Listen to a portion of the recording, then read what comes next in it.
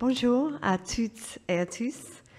Euh, je m'appelle Mena Rawlings. Je suis, euh, comme vous savez, je pense la nouvelle ambassadrice britannique ici en France.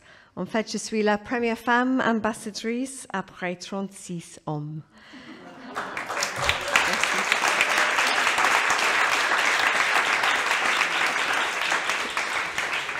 Merci beaucoup.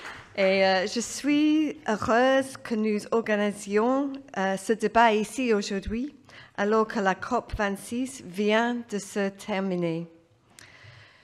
Plus de 120 dirigeants se sont réunis à Glasgow pour prendre de nouveaux engagements euh, et actions ambitieux.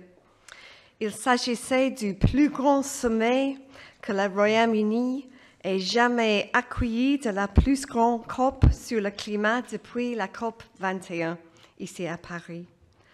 De nombreux pays ont annoncé de nouveaux engagements positifs.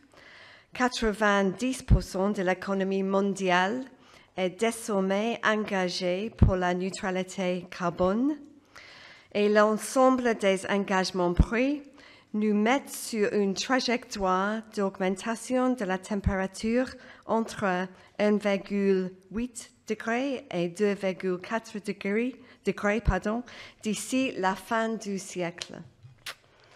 C'est un progrès considérable, oui, mais il en faut beaucoup plus. Si nous voulons maintenir le cap et, en anglais, keep 1.5 alive. Euh, mais il y a des bons succès aussi à Glasgow. Par exemple, pour la première fois, répondant aux appels de la société civile et des pays les plus vulnérables aux impacts climatiques, la COP a convenu d'une action sur la réduction progressive des combustibles fossiles. Mais les négociations multilatérales sur le climat sont des discussions très difficiles et cela n'a pas été différent à Glasgow. Et je suis sûre que, vous, comme moi, euh, avez euh, vu l'émotion d'Alok Sharma au moment de l'adoption du pacte de Glasgow pour le climat. Évidemment, le consensus a été difficile, mais comme a dit le président, M. Sharma, de la COP26, à la fin de la conférence, nous lançons une décennie de l'ambition et ce résultat montre que l'accord de Paris fonctionne. Quand Alok Sharma était ici avec nous à Paris il y a quelques semaines, il a dit que Paris promised, Glasgow must deliver. Et il a rencontré ses partenaires français, par exemple Madame la ministre Pompili, Laurent Fabius et Laurence Tubiana, euh, avec qui il a travaillé en étroite collaboration pour préparer la COP26. Et la conférence de Glasgow est le résultat de cette étroite collaboration franco-britannique euh, et aussi euh, entre plusieurs pays et secteurs de nos sociétés impliqués pour le climat. Néanmoins, ce n'est que le début. Il faut mettre maintenant en œuvre tous les engagements pris en Écosse pendant notre présidence de la COP26 pour que les paroles deviennent actions.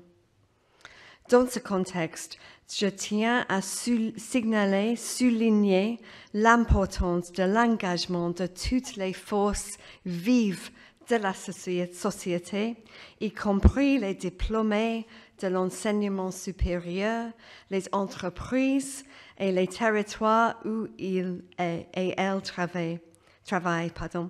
C'est un aspect crucial que le gouvernement britannique a porté au travers de la COP26 pour accélérer la transition écologique. Pour cette raison, je suis ravie que le débat aujourd'hui se déroule dans ma résidence, notre résidence. Je suis sûre qu'il sera riche en idées et solutions pour accélérer la transformation climatique des entreprises et des organisations publiques.